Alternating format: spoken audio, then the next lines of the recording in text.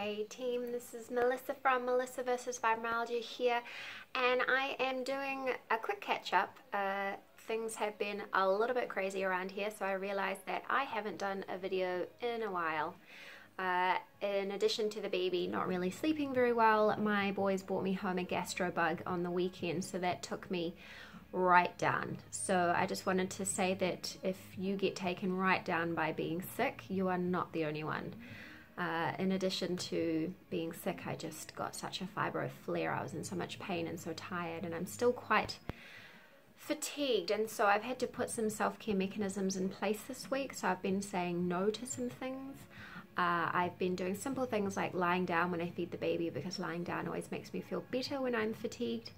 Uh, and there's just so much going on at the moment between the baby and all the things I'm doing um, for the blog and all these things uh, getting my life coaching uh, business going and getting my son. He's just about to start school uh, and he's having his fifth birthday party. So there's just an enormous amount of things going on as well as all these bugs going around.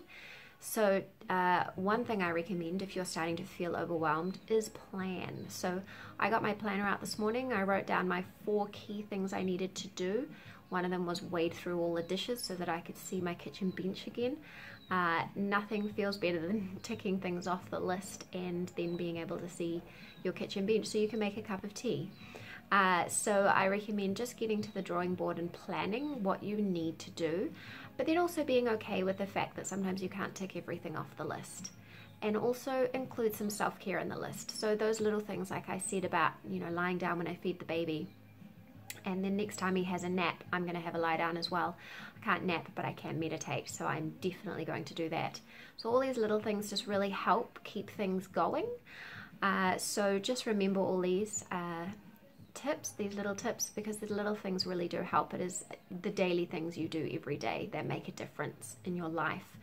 Um, to that end, I am so excited. I've just, I'm in the middle of putting the finishing touches on my pain management plan micro course. So it's kind of a in between. So it'll take you from the fibro framework introduction to pain management, then give you your own individual plan and help you make the plan and give you some tips of what to put in it. So just little things to manage your pain every single day, uh, but then also bigger options that you can look into. And that's just that little step that kind of gets you from the beginning to the middle.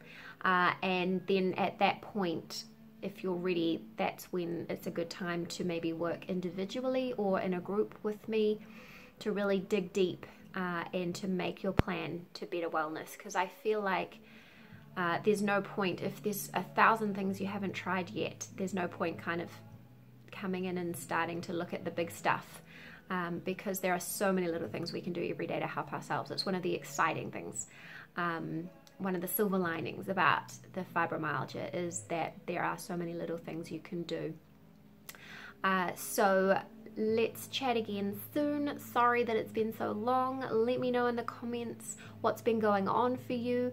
Come along and join the Melissa versus Fibromyalgia Facebook groups. There I'm putting my tip, uh, my tips every day. So things like I've been learning about eating more protein and so I'm just sharing that and I'm sharing my journey with how I'm going with essential oils now that I'm not pregnant anymore. Uh, so do come along and join. I look forward to talking to you again soon. Bye.